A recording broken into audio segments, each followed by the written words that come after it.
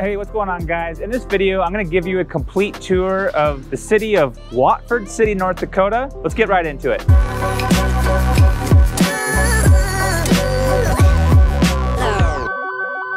What's going on guys? This is David VanAssche with the Living in North Dakota team. And if this is your first time to this channel and you wanna learn everything about what it's like to work, eat, sleep, live, and play here in Watford City and the entire state of North Dakota, make sure you click that subscribe button and tap the bell to get notified every time we put out another video. And look, honestly, we get so many phone calls, emails, and text messages every single day from people who are looking to move and relocate here to Watford City and the state of North Dakota. We absolutely love it. So if you're even thinking about moving or relocating here to Watford City, or any other city or town in North Dakota, make sure you pick up the phone, give us a call, shoot us an email, send a quick text message, days, nights, weekends. We've got your back when moving here to Watford City, North Dakota.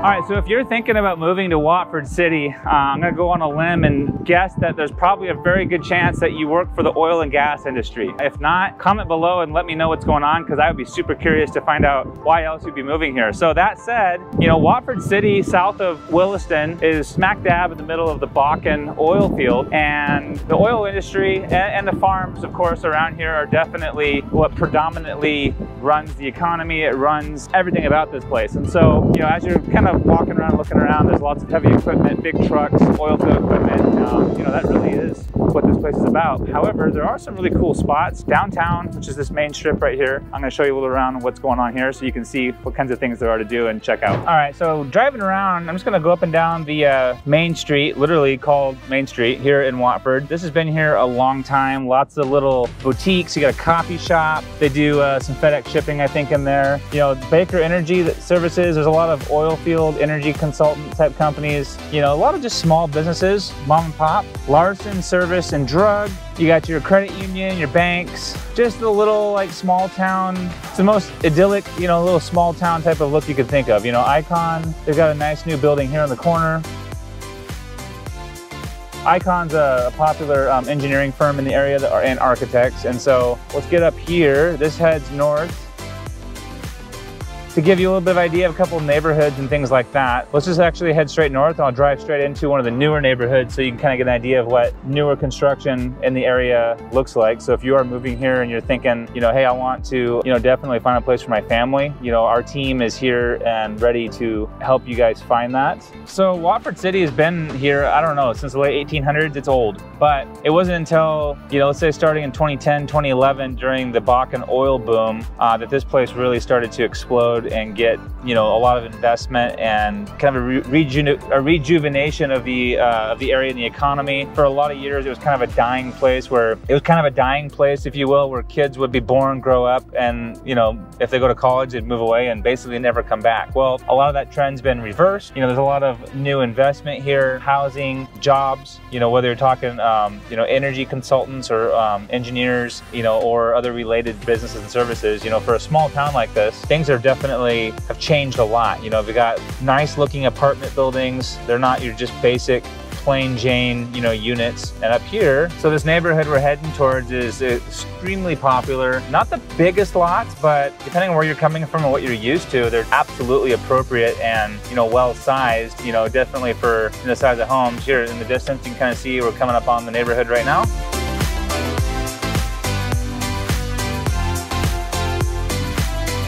I'd say these homes are going to be more of your moderately priced homes. It's not the most expensive housing in the area, but it's definitely not, you know, the cheapest. You know, the lowest price homes are going to be a lot of your original built homes in this town and or city. And, um, you know, a lot of them are probably in need of repair for sure, for sure remodeling. You know, there's a lot of homes that need to be flipped and gutted and, and redone to be, you know, bring them back up to uh, modern day standards. But, you know, there's still people living in them. And on that note, actually, I want to mention something that's kind of important and big and, uh, and unique. Most places in America, somebody who's on, let's say, two, you know, retail incomes, maybe two people work at a Walmart or something, right? In this area, it won't be the nicest house by any means, but you can still afford to actually buy a home. You know, you don't, you know, there's USDA 0% down loan programs, of course, FHA, which is super popular. But point is, is this is the kind of place where, you know, if you're struggling to make the American dream happen, it can still be uh, had here. A lot of people have done it, myself included. And, um, yeah, you're definitely going to want to explore that and you're going to want to call us so that we can help introduce you to the right people to make this around reality. So just quick tour. Like I said, this neighborhood is about five minutes north of uh, downtown Watford City. So super easy to get down there to go watch a movie or go out to dinner at Outlaws. But otherwise, you know, you got a lot of these homes have three car garages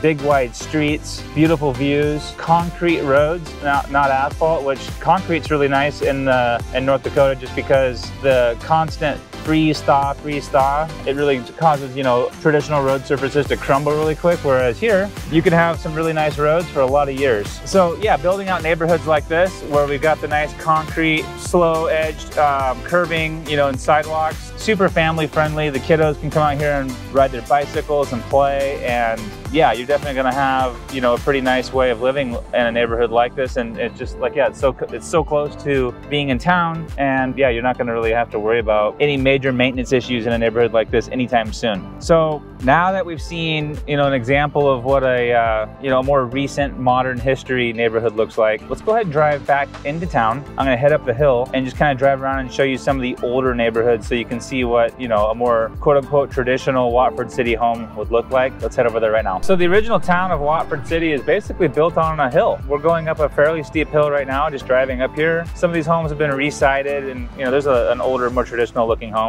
maybe a couple of additions on it. So we're climbing, climbing, climbing. Big water tower here at the top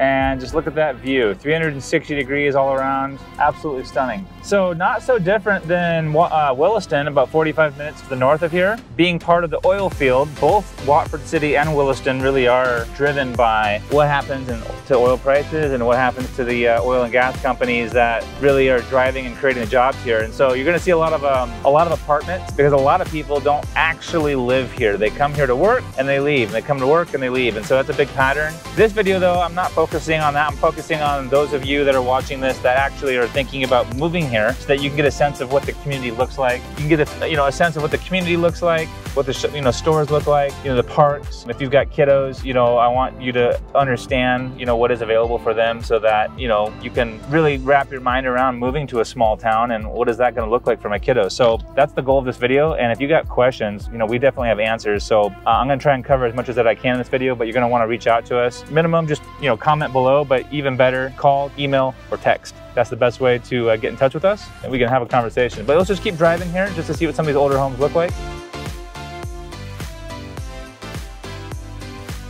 So we're at the top of the hill, um, real close to the county courthouse. This is McKenzie County, if you're kind of curious about that. So that's at 5th and 2nd Avenue West, 5th Street.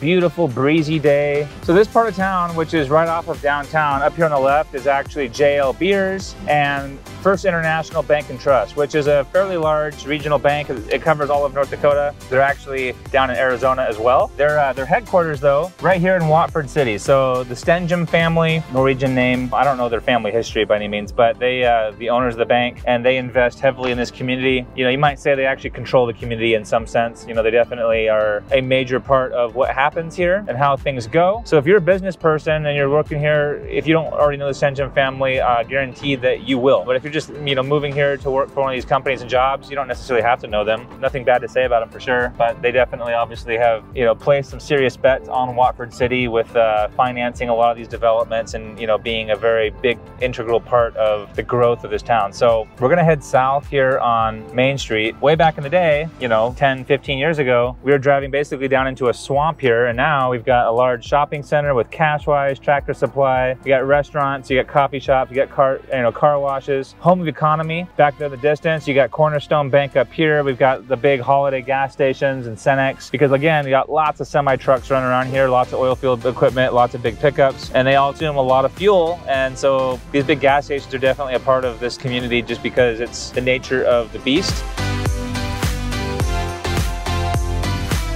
Little more retail, more uh, you know, more of the, just the services that you need when you live in a community. And it's been really fun and exciting to watch all this grow over the last 10 years because like I said, none of this was here in recent history. So there's obviously other spots where you can find services and retail, but I just want you to know that, you know, there is, you know, Cashwise grocery store is the main grocery store. There's a smaller one called Jack and Jill's up in the old original part of town. You know, they're gonna have your basics, but they're definitely not a big box grocery store. Let's head over real quick. I just want you to have an idea of like other housing options. So you got the old original town. You've got, let's call it a suburb or a subdivision north of town with, you know, moderately priced homes. If you're coming here and you're more of, um, you know, you've got a larger business and you have a, a more substantial income and you want to have, you know, one of the nicer homes in the nicer areas of town, I'm going to drive over and show you what that looks like right now, just so you can kind of get a glimpse into into that and being, you know, being basically on the golf course and uh, yeah, you know, much bigger home, higher higher build qualities, things like that. So let's go over and check that out. All right, so if you're kind of in search for, you know, one of the nicest homes in, in neighborhoods in the area, again, of course, the Stenehjem family, they're uh, like I said, they're big on developing the area and uh, promoting Watford City, but this is called the Fox Hills Golf Course. So just gonna drive through the neighborhood and just kind of give, give you an idea of what these homes look like. There's the green in the background.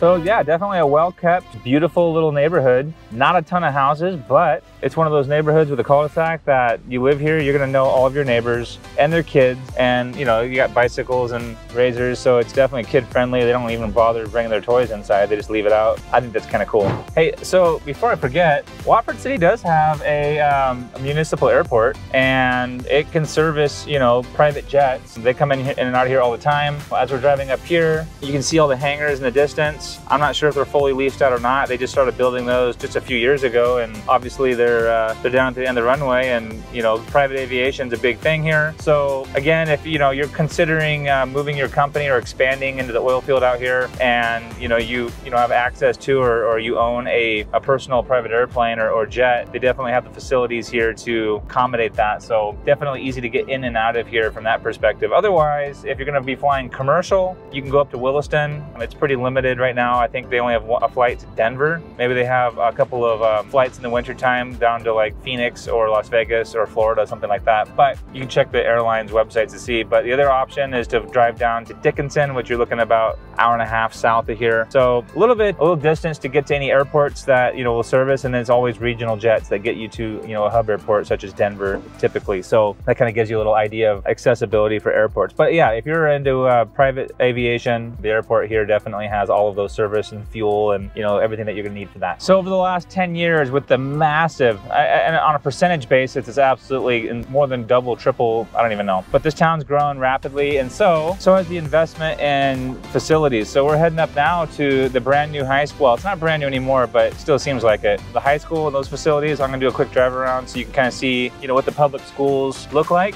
So your baseball fields, batting cages, covered stadium roofing. Even though it starts to get real chilly here in the fall, people still come out and support the kiddos. Yeah, you're gonna wanna bundle up though. And here's the actual high school, which we'll just pull in here. We got quite a bit of wind up here this afternoon. It is up here on a hill, so, you know, living in the uh, upper Midwest like this, wind is gonna be a pretty common thing. The Rough Rider Center on the left, kind of a public facility where you got like indoor, you know, gym and just, you know, other, you know, community activities and center. Even today, you got a mom over there with all of her kiddos. Here's the high school, very modern, beautiful campus, especially for such a small town. It's amazing what they've done here. Like it's you can tell that the people behind the scenes that are politically in charge and in control, they definitely are pushing for a long-term agenda. This isn't a short-term, you know, oil boom and bust. They want, they're investing heavily in the area because they want people to stay here and make this a really strong community. All right, so we're headed back down the hill, which wraps around this entire development up here, which includes obviously the high school. Here's a brand new elementary school, Fox Hills Elementary.